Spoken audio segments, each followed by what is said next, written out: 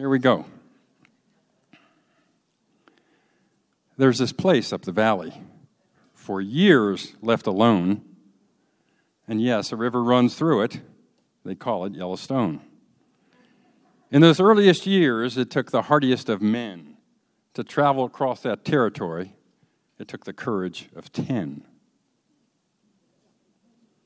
But now, a new breed has come to that park. They're out before sunrise and they lurk in the dark. They work on their stories of what's to be told. Yeah, I've spun a few tales, and they never get old. So we line up our coaches all shiny and clean. Yes, even those bombardiers, those big bad machines.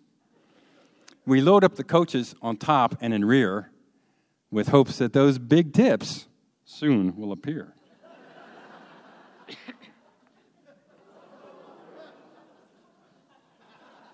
now, driving coaches in Yellowstone, you get home after dark. It's a whole lot of fun, but it ain't no walk in the park. The coaches are squirrely and sometimes the road's untrue, and if not really careful, this could happen to you know who. So our adventure begins, great surprises await.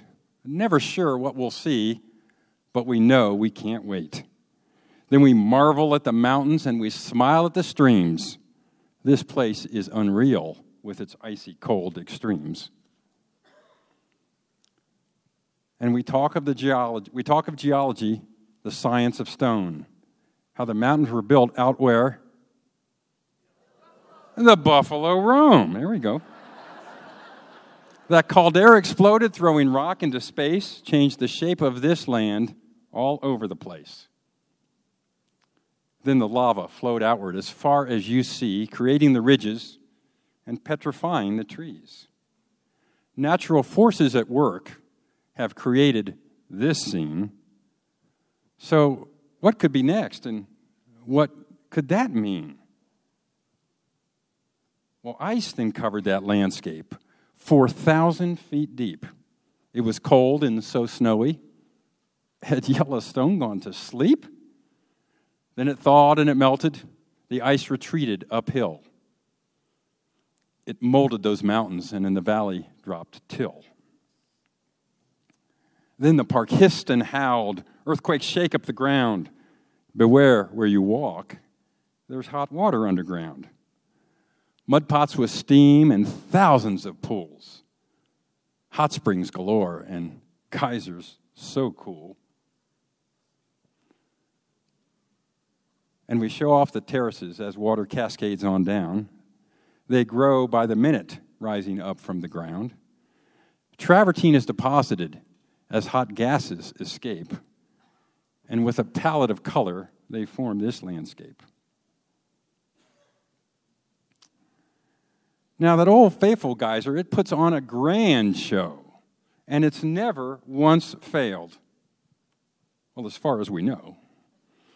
Hot water shoots high up into the air, and then it bursts into steam with a magical flare and Beryl Springs along the Gibbon is a really hot pool. It bubbles and it boils, so don't be a damn fool. The steam rises up and it clings to the trees, forming goblins and ghosts that we all get to see. And those fountain paint pots, now, that's a curious place. Such a variety of features in such a small space. They bubble and burp and form a colorful soup. Plus, so easy to spot if you'll just drive the Grand Loop. And the runoff from pools flows into the streams, keeping rivers from freezing. For waterfowl, that's a dream. The swans and the geese you'll see swimming by, and out on the Firehole, you might spot goldeneye. Now, wildlife abounds throughout Yellowstone Park, but surviving in winter is far from a lark. It's hard to find food and it's bitterly cold. It's survival of the fittest. And that's not so good when we get old. There are thousands of bison wandering out there, you know, with strong muscles and huge heads. They plow through that snow. It's food that they seek as they try to survive. But by late in the winter, quite a few aren't alive. And we speak of the critters, the big and the small, the challenges they face as they survive through it all. We talk as they scavenge to get through their days, the predators out hunting, chasing down their favorite prey.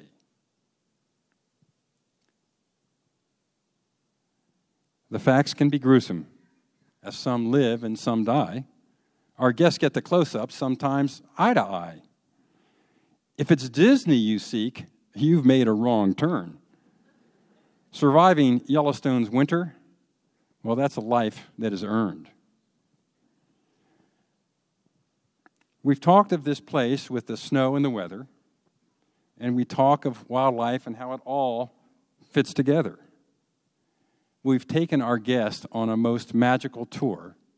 By the end of each day of that, I am sure. Now, I've spent half my life in Yellowstone Park, where the wolves howl out loud and the coyotes bark. I've held various jobs over all of those years, but only snow coaching could drive me to tears.